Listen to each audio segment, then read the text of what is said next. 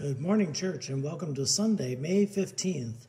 Barb Baker starts us with, I love you, Lord.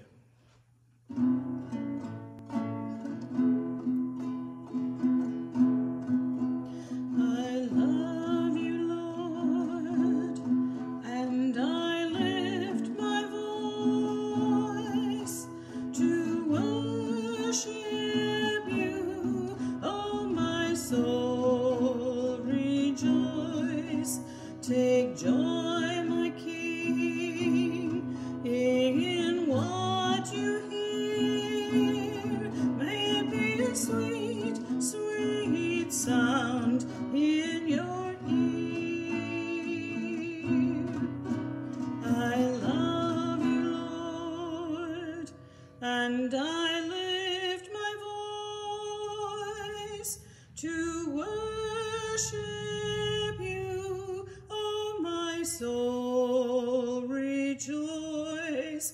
Take joy, my King,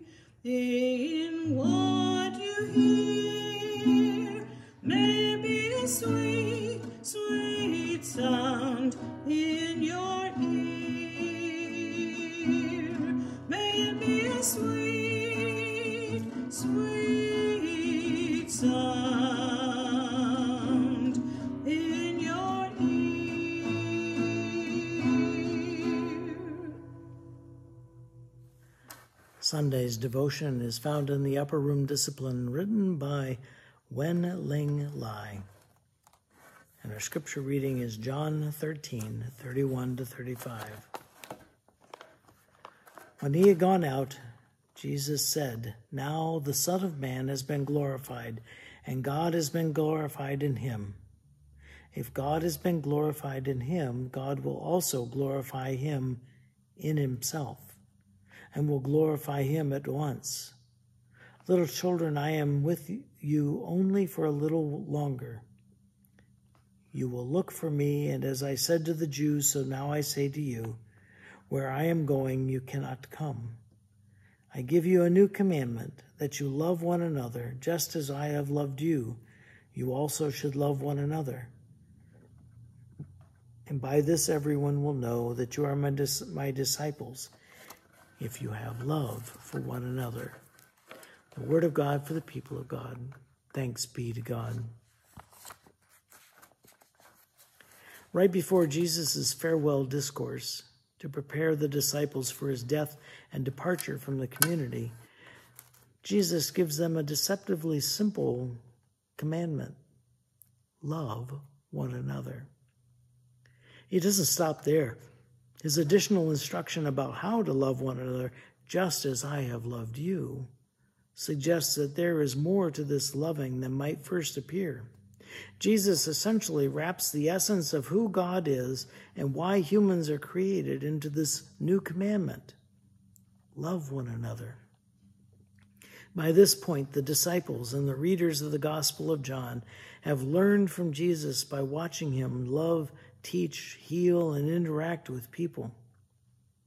The disciples know how Jesus has loved and cared for them, but can they now love like Jesus? Would they wash one another's feet as Jesus has? Would they break and serve bread while sharing the cup in remembrance of Jesus as Jesus has? Would they calm one another's fears as Jesus did on the sea to Capernaum? Would they die for one another. Jesus has modeled how and whom to love. Now he explicitly asks his followers to love just as I have loved you. To love like Jesus means to be present and empathetic to people in times of need, as Jesus was for Mary and Martha after the death of Lazarus. To love like Jesus is to feed the multitudes by working for the equitable distribution of food. To love like Jesus is to heal by ensuring that everyone has access to medical and psychiatric care. To love like Jesus is to offer mercy to the penitent thief by reforming our unjust justice system.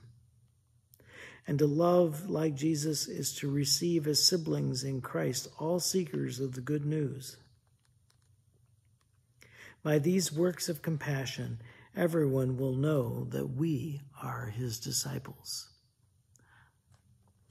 Let us pray. Lord Jesus, Son of God, have mercy on us as we strive to love one another as you have loved us. Amen. Closing hymn is The Gift of Love, verse 3.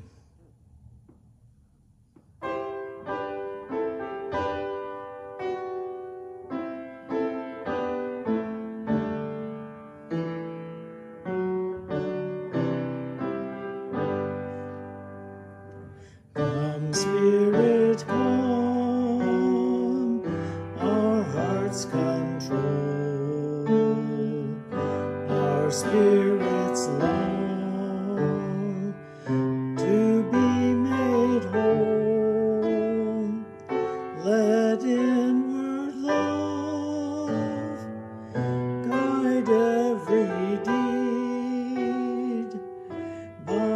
we worship and are.